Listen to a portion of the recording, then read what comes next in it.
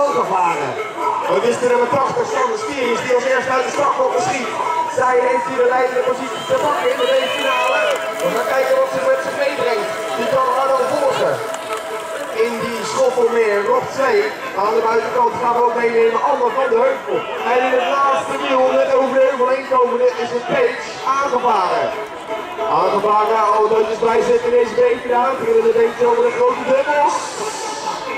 Sanne Stiering, ongenaakbaar, erg sterk aan de leiding rijden. Anne van de Heuvel neemt 2.